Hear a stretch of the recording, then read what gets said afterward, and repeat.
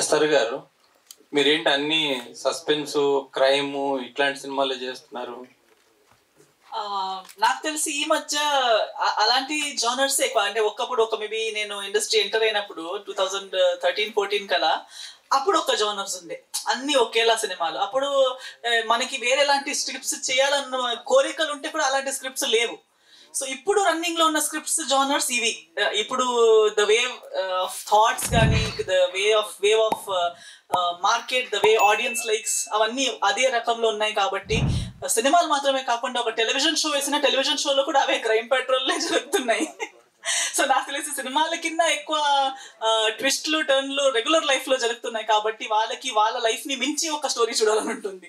So వాళ్ళ life లాగే ఇంకో లైఫ్ స్క్రీన్లో చూడాలంటే why should they pay so definitely they want to see which is ముందు బ్యాంకాక్ చూడలేదు ప్యారిస్ చూడలేదు స్విట్జర్లాండ్ చూడలేదు కాబట్టి స్విట్జర్లాండ్ డాన్స్ చేసేది చూడాలని ఉండే అప్పుడు. ఇప్పుడు ఒక వీకెండ్ ఆఫ్ ఉంటే ఐటీ వాళ్ళే టికెట్ వేసి మాల్దీవ్స్ మారిషస్ వెళ్ళొస్తారు. సో ఇప్పుడు మాల్దీవ్స్లో డాన్స్ చేస్తే ఎలా ఉంటుందని వాళ్ళకి ప్రాక్టికల్గా తెలుసు. So now they want to see what is happening in people's lifes so I think ఇలాంటి స్క్రిప్ట్స్ ఇప్పుడు ఎక్కువ ఉన్నాయి. But I think this is a golden era for hard working passionate creative people finally ఈ ఒక ఎరా వచ్చింది. మన ఇండస్ట్రీకి నాకు తెలిసి గోల్డెన్ ఎరాస్ వచ్చాయి వేరే వేరే ఎరాస్ వచ్చాయి but I think this is going to be the platinum diamond era of cinema Indian cinema especially because ఇప్పుడు మనం ఎప్పుడు ఎక్స్ప్లోర్ చేయలేని విషయాలు ఎక్స్ప్లోర్ చేస్తున్నాము. మన ఆడియన్స్ కూడా అలాగే మనకు సపోర్ట్ ఇస్తున్నారు. సో క్రియేటివ్లీ ఒక చాలా సంవత్సరాల నుంచి మన రాజేష్ గారు కూడా చెప్పినట్టు ట్వంటీ ఇయర్స్ థర్టీ ఇయర్స్ కష్టపడిన వాళ్ళకు కూడా ఇప్పుడు ఫలం వచ్చే టైం వచ్చింది.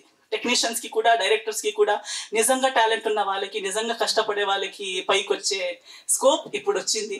So I'm very happy and నేను సెలెక్ట్ చేసేది రోల్స్ మాత్రమే. స్క్రిప్ట్స్ చూడండి. డైరెక్టర్ గారు రైటర్స్ గారు వాళ్ళు తయారు చేస్తారు. వాళ్ళు మనకి ఇస్తే ఈ రోల్కి వీళ్ళు బాగుంటారు మన దగ్గరకు వస్తేనే మన దగ్గర చాయిస్ నేను ఇంట్లో కూర్చుంటే నేను ఇది చేస్తానని చెప్తే నా దగ్గరకు రాదు.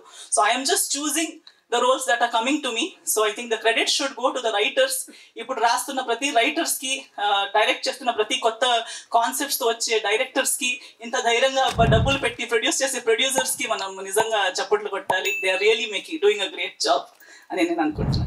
In spite of being so angelically beauty, uh, beautiful, and uh, Ah,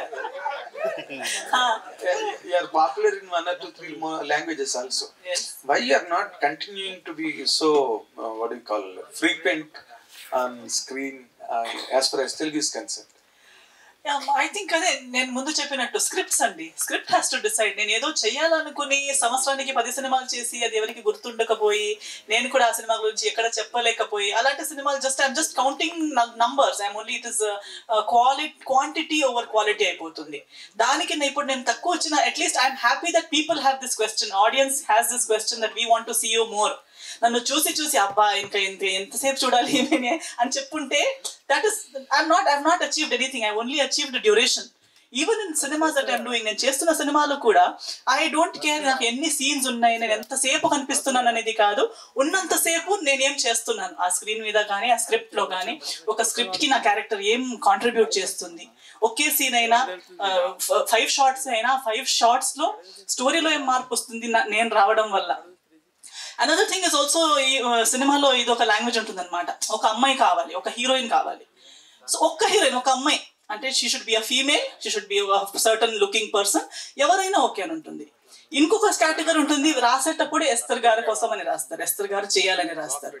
అలా రాసేటప్పుడు దాని క్యారెక్టరైజేషన్ కానీ విజువలైజేషన్ ఇప్పుడు డైరెక్టర్ గారు నేను ఇలాగే కనిపించాలని నన్నే ఊహించుకున్నారు కాబట్టి నన్ను ఇలా చూపించాలనుకున్నారు. ఏదో ఒక అమ్మాయి కావాలైతే నేను కాకపోతే సడన్గా ఫోన్ ఎత్తి ఇంకొకరికి కాల్ చేస్తాను ఒక లిస్ట్ ఉంటుంది అనమాట ఈమె కాకపోతే ఈమె కాకపోతే.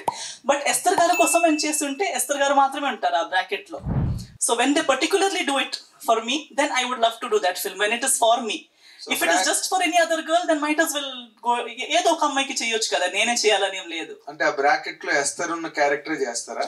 అవును. అంతేనా? ఎస్తర్ కోసం రాసింది ఎస్తర్ చేస్తారు. అంతేనా? ఎవరో ఒక అమ్మాయి ఉండాలి ఒక రోజు ముందు కాల్ చేసి రేపటి నుంచి షూటింగ్ ఉంది వేరే ఎవరు దొరకట్లేదు మీరు రండి అని చెప్తే చెయ్యొద్దు ఎందుకంటే ఐ డోంట్ థింక్ అంటే దర్ ఇస్ నో పాయింట్ అలాంటి సినిమా చేసినా ఎవరో ఒక అమ్మాయి చేసింది అంతే కానీ ఎస్తర్ చేస్తే ఎస్తర్ కోసం రాసింది ఎస్తర్ చేస్తే ఎస్తర్లా ఎస్తర్ దాన్ని డెలివర్ చేయగలుగుతుంది. అలాంటి సినిమాలో పది సంవత్సరానికి ఒకటి చేసినా అది పది సంవత్సరాల మైండ్లో ఉండిపోతుంది. ఇప్పుడు భీమవరం ముల్లోడు చేసి టెన్ ఇయర్స్ అయిపోయింది. కానీ ఇప్పుడు కూడా ఎక్కడైనా కలిస్తే uh, people remember Bhimavaram Bullodu people remember recce so పది సినిమాలే చేసినా ఆ పది సినిమాలు దీని తర్వాత ఇది దీని తర్వాత ఇది అని రిమెంబర్ చేసి ప్రతి ప్రాజెక్ట్ పేరు చెప్పగలుగుతున్నారు అనేది is what I have achieved uh, in my journey and Kuntanana. Fantastic. Uh. We wish all your hopes and aspirations come true. Thank you. Come true. Rajesh.